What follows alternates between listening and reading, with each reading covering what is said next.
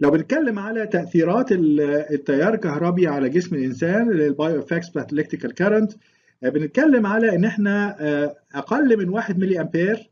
الحقيقة بيبقى يعني لما نوصل 1 ملي أمبير بيبقى perception level أقل من كده ممكن actually ما نحسش بيه. Perception level معناها نحس إن في حاجة بتبقى عبارة عن slight tingling sensation يعني نحس إن في حاجة زي يعني بنحس إحنا يعني لما يكون في مثلا electrostatic ولا حاجة بنحس بحاجة كده زي يعني إحساس إن في حاجة مش يعني مش معتادة ودي بتبقى basically يعني ما هياش خطورتها كبيرة في غالب الأحوال بس برضو بنحاول نتجنبها عموما. و once إن إحنا وصلنا ل 5 ملي امبير الحقيقة يعني definitely بيبقى فيه slight shock يعني حد يحس إن فيه فعلا أكنه خد electrical shock بس ما هياش ما هياش painful ما هياش حاجة مؤلمة وما هياش يصعب عليه إن هو يشيل إيده من المكان اللي فيه ال electricity لو هو حاطط إيده عليه مثلا.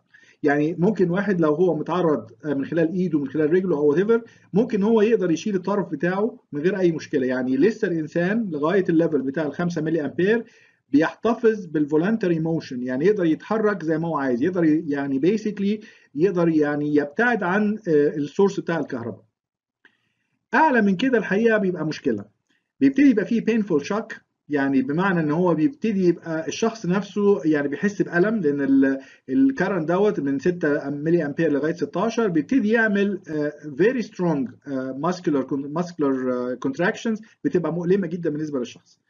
والحقيقة بنتكلم على إن يعني basically ممكن يعني في أي واحدة من ال currents دي actually حسب طبيعة الشخص نفسه حسب male ولا female حسب ال body build حسب حاجات كتيرة الحقيقة ممكن في أي current من ال currents دول ممكن هو ما يقدرش إن هو يشيل إيده ما يقدرش إن هو يعني يبتعد عن عن ال source of electricity ال current اللي عنده نقدر إن إحنا نبتعد هو بنسميه ال let go current ال let go current بيبقى بعديه ما نقدرش نعمل الكلام ده. فالحقيقة إحنا بنتكلم على 5 ملي أمبير نقدر definitely يعني نعتبر نفسنا نقدر إن إحنا نبتعد عن ال source of electricity أعلى من كده يعني الحقيقة ما نضمنش. يعني في range من 6 ل 16 بيبقى فيه painful shock وما نضمنش إن إحنا نقدر نشيل إيدينا من المكان اللي هو كان فيه ال electricity أعلى من كده بقى لا بنبتدي بقى نخش في range ممكن يبقى فيه خطورة.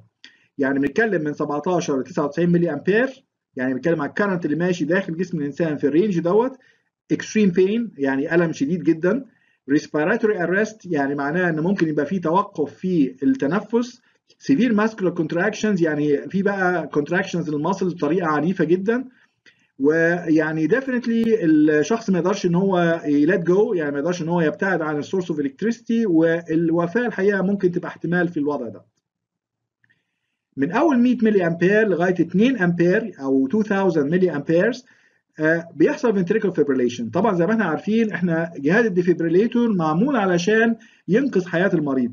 فاحنا بنتكلم هنا عكس الكلام ده بقى. يعني الكهرباء هنا الحقيقة ممكن تؤدي لحدوث ال ventricular fibrillation اللي هو بيبقى وضع خطير جدا بيبقى فيه ال contractions اللي بتحصل داخل القلب بتبقى ضعيفة جدا وسريعة جدا. بتبقى كأنها رعشة اكنها يعني vibrations كده ما بتقدرش إن هي تضغط الدم ما تقدرش إن هي ت push الدم في ال systemic circulation عشان يوصل مثلا للمخ ويوصل للأعضاء اللي هي تعتبر vital عشان حياة الإنسان.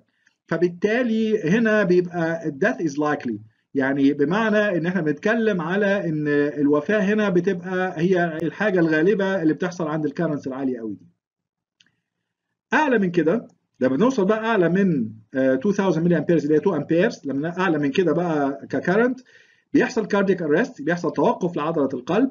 ممكن يحصل internal organ damage و severe burns وال death بيبقى طبعا هنا بيبقى even more likely عن هنا.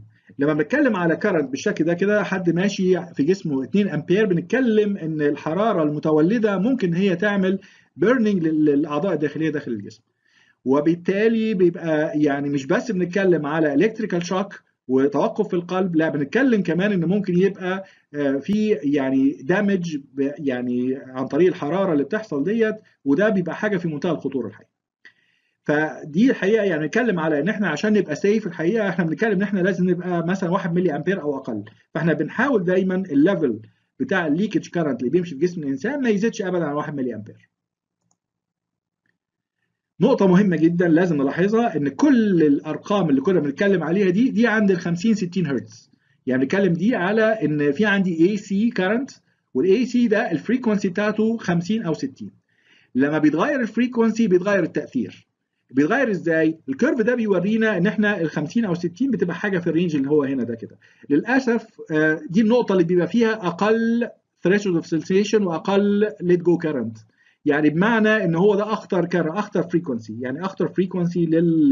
لل... للكهرباء هي بتبقى في ال range اللي هو بتاع ال AC لما بنروح ناحية ال DC بنلاقي إن ال threshold ده بيعلى ونلاقي إن هو برده في.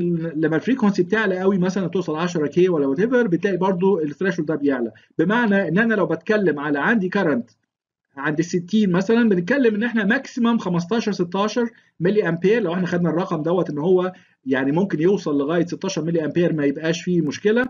فبنتكلم عند ال 60 بيبقى حوالي 16 ملي أمبير. لما بتكلم على 10 K بتكلم على حاجة حاجة و70 ملي أمبير. بيعمل لي نفس الحاجة نفس ال effect. يعني الخطورة في ال current عند ال 10 K بتبتدي من عند 75 ملي أمبير مش عند 16 ملي أمبير زي ما هي في 60 نفس الكلام لو إحنا بصينا على ال curve ده بقى لو كملنا معاه لغاية ال DC هنلاقي إن هو بيطلع برده يعني بطريقة شبه دي كده. فعامة هنعرف إن إحنا ال frequency لما بتقل تبقى قريبة من ال DC أو لما تعلى تبقى في ال range بتاع الكيلو هرتز يعني tens of kilohertz أعلى من 10 K مثلا أو أعلى حتى من 1 K يعني الحقيقة بتبقى برضو تعتبر يعني أعلى شوية من دي.